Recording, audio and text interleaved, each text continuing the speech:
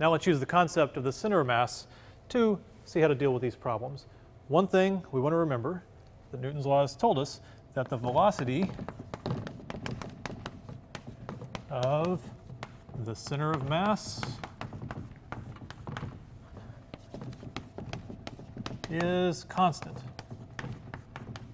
It will not change before, during, or after the collision. And I can show you that with Hal and Al. So what we're going to do is we'll have Hal over here, Al over here, push them together, have them collide. And if we think about it, remember Hal weighs about three times more than Al. So the center of mass is going to be about right there, closer to the heavier mass. And it's going to kind of move, as they move together, it's going to kind of go to the right. So we will ram them into each other and see what happens see if it works out. So let's keep our eye on the center of mass. Here we go. So you can see center of mass did just what we said. It did not change its velocity. So if this is such an important quantity, I probably need to give you an expression to calculate it. It's, I'm not really going to derive it. I'll just give it to you the velocity of the COM, we would call it. Just like the position of the center of mass is sort of the mass average position, this is just the mass averaged velocity. In this case, it would be m1 times v1 naught plus m2 times v2 naught over the total mass, m1 plus m2. Now the idea that that center of mass continues uh, at a constant value throughout the collision isn't uh, the only thing you need let's, let me tell you a couple other things. Um, now we're going to think about being in this, the, the center of mass reference frame. Okay, so in the COM, the center of mass reference frame,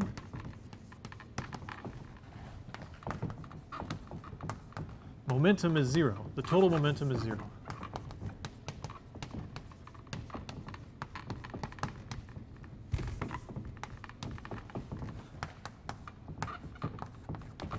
And of course, it's also constant.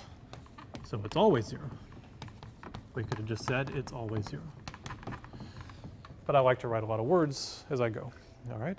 So let's think then, if that's always zero, what we want to do is start being able to calculate momenta in that reference frame. So we need to get our initial velocities in terms of what they would look like if you were in the reference frame of the center of mass. And that simply means if rather than standing still in the room, we actually moved with the center of mass. What would this look like? Let's think about it for a second. If we were here and they were coming together, but we were moving with them, it would look like they're just coming together. If you're in the center of mass frame, you just see two masses come together and hit. So the way to calculate those new velocities is like this, V1 naught COM. That's the complicated notation I'm going to use. V1 naught and the center of mass. Some, a lot of books will use a prime or not a prime. I like to be real explicit when we get started.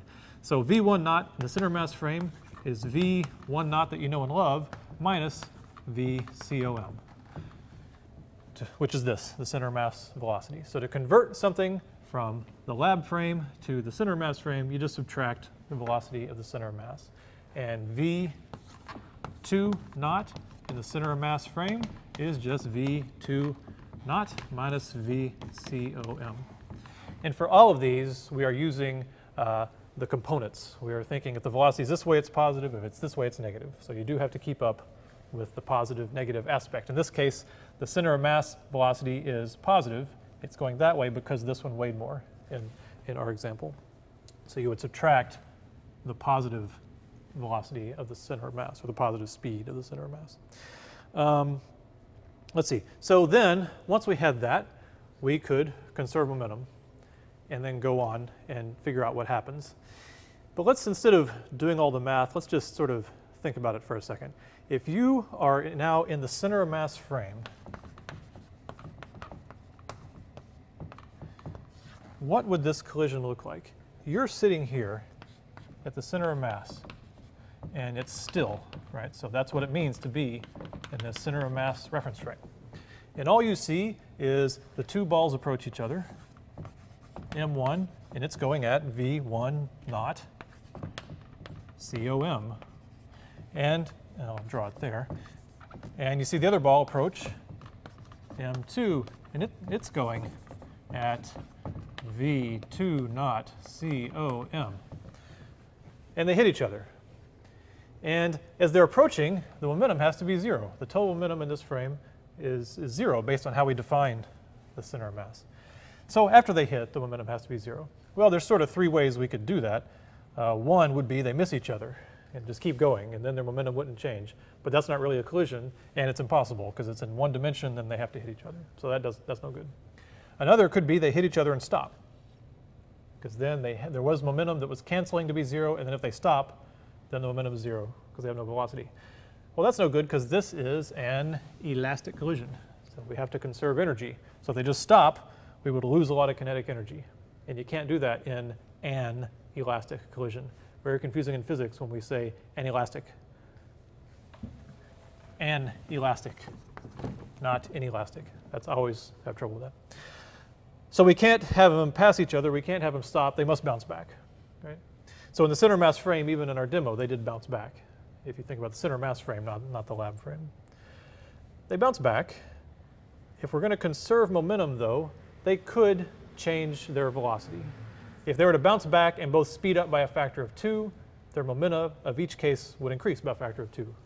Okay? And then they would still have cancel out and you would still have a total momentum of zero. So conservation of momentum doesn't really require them to bounce back with their initial velocity, but conservation of energy does.